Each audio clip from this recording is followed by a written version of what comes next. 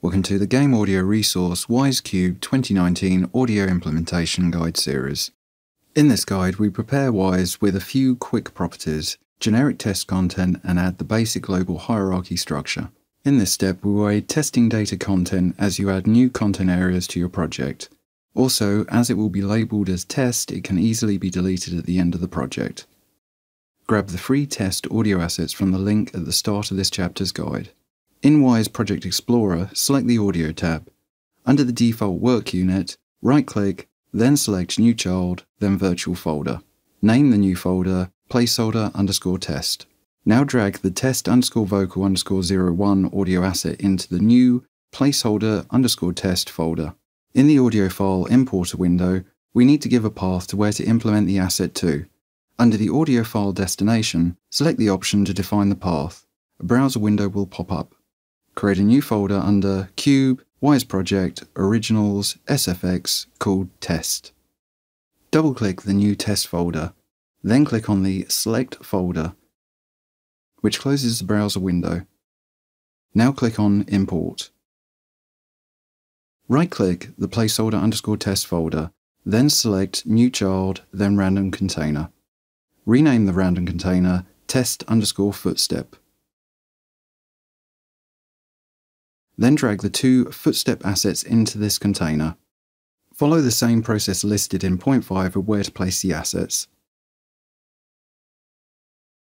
Select each of the new audio assets in the Actor Mixer hierarchy, then press play. Test. Test. You should now hear the audio of the asset.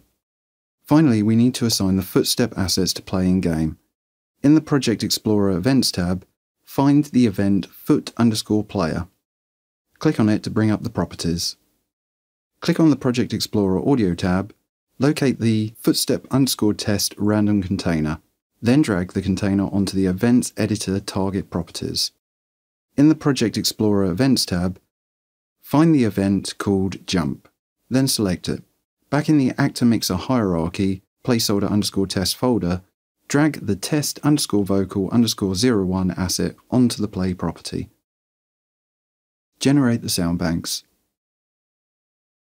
Test in game that when the player moves, the test footstep assets are heard and triggered. Test. Test. In Chapter 4, we created a placeholder silent asset. We should now also move it into our new test area. Locate the placeholder underscore silence underscore one underscore shot asset under the actor mixer hierarchy. Simply select and drag it into the new placeholder underscore test folder. Generate the sound banks. Save your Wwise project updates. There is one important event, map loaded, that has a huge impact on the initial implementation. As we are starting a fresh project, we need to assign properties to it to stop a lot of bugs as we implement the project. Change back to the designer layout. In the Project Explorer Events tab, Unused folder, find the sound event map underscore loaded. In the Events editor, we need to change the type play event to a type stop all. Under the type column, click on the play property, then from the list, select stop, then stop all. Change the scope column to say global. In the associated values, we need to add a fade out time. Add a default 0.5 second value. Next, we add new properties to inform the game the player is alive. Right click the list, then select New Action, States, then Set States. In this new entry, select the property in the target column. Right click, then select Set Target, Default Work Unit, Player Life, then Alive. Next, we add a property for the quad. Right click the list, then select New Action, States, then Set States. In this new entry, select the property in the target column. Right click, then select Set Target, Default Work Unit, Player Has Quad, then No. Generate the sound banks and save your Wwise project updates. Sadly, due to the limited amount of coded content in the project, if we use multiple sound banks, data and asset content will be packed into multiple different sound banks. This will result in false positive errors in the integrity report as the project progresses. These errors can be filtered out of the integrity report, but for simplicity, we will focus on one sound bank for the entire project. In the Wwise toolbar, select Layouts. then Sound Banks, or press F7.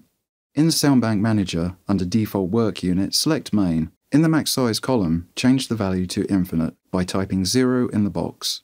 Set the max value for the DCP underscore the underscore core and the music sound bank to 1. Now we need to associate all content in the DCP underscore the underscore core and the music soundbank in the main soundbank. Select the DCP underscore the underscore core in the soundbank manager, then click on the Add tab in the soundbank editor. Select all content in the hierarchy inclusion list and drag it into the main soundbank. Select Music in the Soundbank Manager, then click on the Add tab in the Soundbank Editor. Select all content in the hierarchy inclusion list and drag it into the main soundbank. Generate the soundbanks and save your Wwise project updates. In this step, we will set up the global Wwise project to have a basic hierarchy structure for all content areas. Return to the Design Layout or press F5. In the Project Explorer Audio tab, Actor Mixer Hierarchy Default Work Unit, we will add a new Wwise work unit for each main content area. Right-click the default work unit, then select New Child, then Work Unit. Name the new work unit Armor. Then add a new Wwise work unit for each of the main content areas, body, element, environments, footstep, magic, UI, vocals, and weapon. Under the Actor Mixer Hierarchy folder, add a new Wwise work unit called Advisor. Next, we update the Master Mixer hierarchy. Navigate to the Master Mixer hierarchy default work unit, Master Audio Bus, SFX Audio Bus. Right-click the SFX Audio Bus, then select New Child Audio Bus. Name it Armor. Now add a new audio bus in the same location for each of the following content areas body, element, environment, footstep, magic, UI, vocal, and weapon. Right click the master audio bus, then select New Child Audio Bus. Name it VO. Now we will add consistent event hierarchy. Change to the Project Explorer Events tab.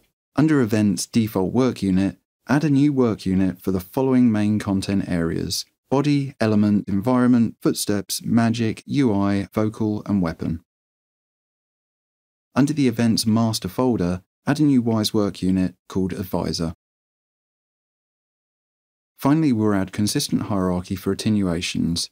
In the Project Explorer Share Sets tab, open the Attenuations folder. Delete the main attenuation under the default work unit. Under Attenuations My Cube, add a new Wwise work unit for Armor, Body, Element, Footstep, Magic, Vocal, and Weapon. Delete the original object attenuation. Right-click My Cube, then select New Child Virtual Folder. Call it placeholder underscore test. Right click the new folder, then select new child, then attenuation. Call it placeholder underscore test underscore 3D. Double click the attenuation to open the properties. In the curves list, select the output bus. Then in the max distance box, add the value to 50. Then in the main graph, double click the red line to add a point marker. Drag this marker to the following coordinates output bus volume 0.0 and distance 10. Right-click the red line after the point marker, then select a logarithmic base 3 curve. Generate the sound banks and save your Wwise project updates. Introduced in Wwise version 2018.1 is a new feature which allows us to color code almost any type of hierarchy object, e.g. containers, folders, Wwise work units, etc. Coloring hierarchy structure helps quick navigation, testing, and helps maintain a solid hierarchy structure. Return to the designer layout. In the Audio tab, Actor Mixer Hierarchy, right-click the Armor work unit, then select Set Color. Select the color Yellow. Continue to add colors to the major Wwise work units in the Actor Mixer hierarchy using the following color association. Armor Yellow, Body Light Blue, element light green, environment green, footstep blue, magic purple, UI red, vocal pink, and weapons orange. Then add the same color coding to the Master Mixer default work unit Master Audio Bus SFX Children. Next, add the same coloring association to the new Events Wwise work unit we added in step 5.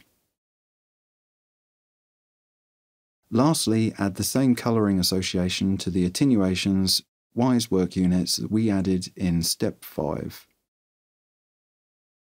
Double check all content areas have the same colour association. Generate the sound banks and save your Wwise project updates. We're now ready to start implementing new content to the game.